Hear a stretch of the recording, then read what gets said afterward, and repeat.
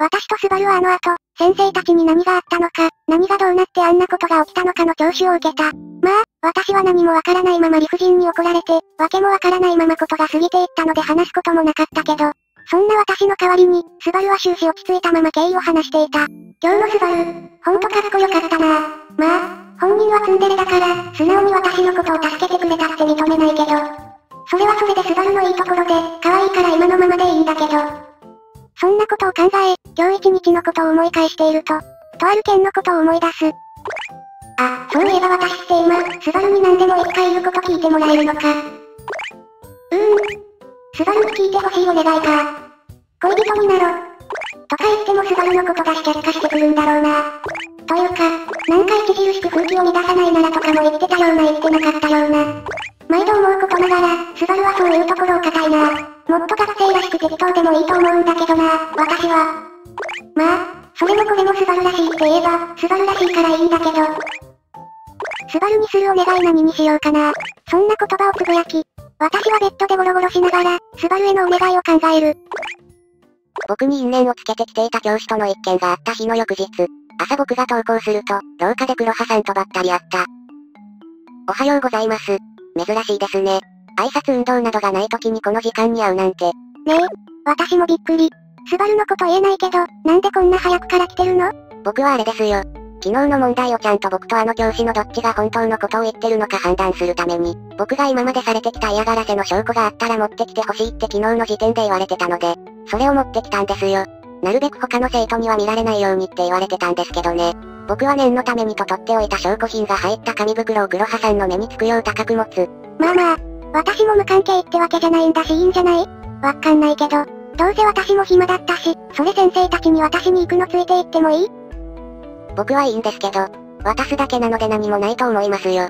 私も風紀委員の一員だからね。生徒や先生が学校の風紀を乱してないか見守るのが義務ですから。ふん。それくらい毎回やる気を出してくれれば、僕ももっと楽できるんですけどね。それはそれ、これはこれだよワトソン君。僕はスバルですよ。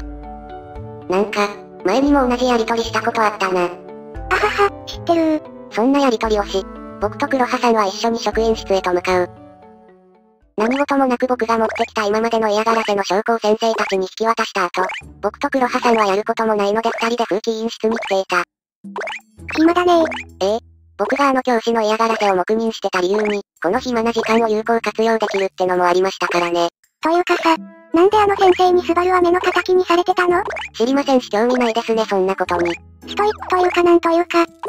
なんで相手が自分のこと嫌いなのかって気になったりしないの？なんでって、嫌いだから嫌い。ただそれだけのことじゃないですか。好きに理由があったとしても、嫌いなことに特別理由はいらないんですよ。仮に、あの教師が僕を嫌う理由が何かあったとして、黒羽さんはそれを聞いたら納得しますか？多分、しないかな。そうです。どうせ納得も理解もしないなら、聞くだけ無駄なんですよ。それに、どの道感情的な理由なんですから。旗からしてみればそれだけのことでって理由ですよ。僕はそんな何の役にも立たないことをわざわざ聞くよりも、今はなんで黒羽さんが僕ごとまた揺れてるのかの理由を知りたいですよ。え？暇だから。でしょうね。毎度思ってますが。それ楽しいんですか？楽しいっていうよりも、安心するって方が近いなんで疑問形スバルちっちゃくて収まりいいし、なんかめっちゃいい匂いするし。こうやってるとなんか安心する。ひとまず匂い嗅ぐのやめてもらっていいですか？え？なんで？言わなくてもわかるでしょ。匂い嗅がれるのがどれだけ恥ずかしいか。黒羽さんだってクラスの男子に匂い嗅がれたら嫌だって感じませんか？確かに嫌だけど。もう癖になっちゃったからやめれないよ。かなり理不尽なこと言ってるってわかってますか？されるのは嫌だけど自分はするって。まあまあ、私とスバルの仲じゃん。その辺は多めに見てよ。まあ、確かにそうですね。そうなんですけど。それならそれで匂い嗅いでたのを言わないで欲しかったです。まあ、うん。ね。口が滑った。それから数時間後、私は体育の授業を受けていた。はぁ、はぁ。疲れたなぜにテニス疲れる。男子はマラソンだって。それよりかはまだマシじゃん。確かにそれはそう。でも、それよりも、私は黒羽とあの一年生との話したいかな。昨日のあれもあったし、実際二人ってどこまで進んでんの？進むも何も。足踏みしかしてませんが。え？昨日あんな助けてくれたのに？あれで何の進展もないの？本当に？はい。風紀委員入った当初より、仲良くなったくらいで。恋愛的な意味では何の進展もありません。笑いたけ笑えいや、笑うよりも心配の方が勝つよ普通に。いやさ、好きだよ。スバルと付き合いたいとは思ってるけどさ。いきなりスンってなるのやめて。怖いから。けどさ、何？今の関係も関係で気に入ってるからさ。今の関係がなくなるくらいなら。ってな感じで踏み出せないっていうか。何？いきなり乙女みたいなこと言い出すの？迷うことなき乙女ですが黒羽が乙女かどうかは置いておいて。置いておかないでよ。確かに自称するのはどうかと私も思うけどさ。あの一年生。昨日のでいい意味でも悪い意味でも話題になっちゃってるから。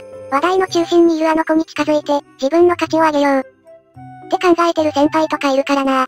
まごまごしてるのはいいけど、そういう人たちに取られないようにね。え？何その嫌な先輩、好きでもないのに自分のためにスバル利用するってどうなの？さすがに今後あの子に近づく人が全員が全員そうとは言わないけど、私の部活の先輩でそう話してた人はいたよって忠告。忠告って言われてもな私にはどうしようもないことだし、スバルが他の人選ぶのもしょうがないっていうか。案外そこは潔いんだ。いや、泣くよ。泣きわめくよ。夜中2時とかに泣きながら電話するよ。SNS とかに黒背景でちっちゃい白文字使ってもう無理とか投稿するよ。すっごい迷惑だからどうか電話するなら私以外にしてほしい。失恋する。かもしれない友達にくらい優しくしてよ。そういうのは失恋してから、する。前から優しくする。のはただの甘やかし。むぅ。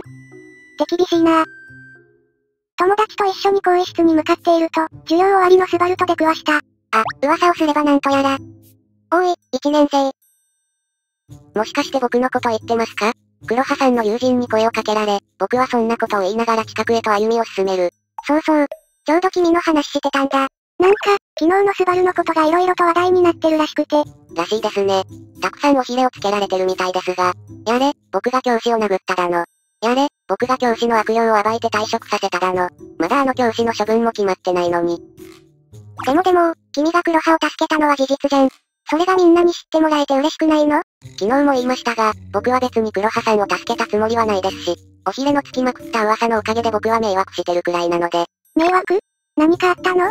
また僕が無視してればいいだけのことなんですが、知らない女子生徒から告白されたり、知らない男子生徒から調子乗るなって言われたり、身に覚えのない友人知人が増えたり、最後のだけど考えても宝くじ当たった時みたいで笑う。笑いの種にしてもらえたなら幸いですよ。こ、告白って、誰にされたの？ははーん。それは私も気になる。さあ、名前や学年を聞き忘れたので、誰かまではわかりませんが、二人に告白されたんですが、二人とも口裏を合わせたかのように前々から気になっててとは言ってましたね。取ってつけた感のすごい理由。と、どっちの告白も受けてないんだよね。受けてませんから。固く噛んで揺らさないでください。でもまあ、君みたいに急に話題になって、外見に特別感があれば誰もほっとかないよね。男子も女子も、すがるですから、そのおかげで迷惑してるって言ったじゃないですか。でもでも、私スバルの綺麗な髪色も好きだから絶対に染めないでね。状況どうなってるんだろ。黒羽、一年生に抱きつくのはいいけど、汗の匂いとかどうにかしてからの方が良かったんじゃない？黒羽さんの友人がそう言うと、黒羽さんはすごい勢いで僕から離れた。じゃ、じゃあね、スバル、またお昼休みに。助かりました。ありがとうございます。いやいや、なんのなんの。にしても、君も色々大変だね。黒羽は親しい相手だと距離感バグるし。慣れましたよ。それに嫌なら関わり立ってますし。何がとは言わないけど、やっぱ男子って黒羽みたいな子の方がいいの？さあ、その男子に含まれるかわからない僕に聞くのは間違ってるんじゃないですか？え？じゃあ、女子？そういう意味じゃないですよ。主語を大きくするなら、その主語に含まれる人に聞いてくださいって意味です。何かと僕はみんなに含まれないことの方が多いので、身長とかね。類は友を呼ぶって言うけど、距離感バグってるのはこの人もか。まあ、そういうことです。それじゃあ、僕はこの辺で、昨日のこともあって職員室に呼ばれてるので、そんじゃねえ。挨拶を交わし、僕は一人で職員室に向かうのであった。